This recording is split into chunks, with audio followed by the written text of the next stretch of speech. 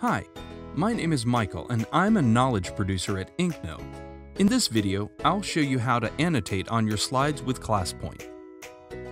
By default, the cursor tool is selected for you to navigate slides. Next to it, there's the laser pointer, a set of pens, a highlighter, and an eraser. Up to five pens can be customized from the ClassPoint tab. Click each icon to choose the pen color or hide the pen. When you go back to Slideshow, your selected pens will appear on the toolbar.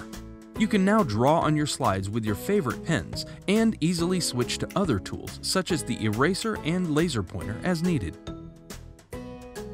Upon exiting Slideshow, you can choose Keep to save all the ink annotations on your slides. And this is how you can better annotate on slides with ClassPoint.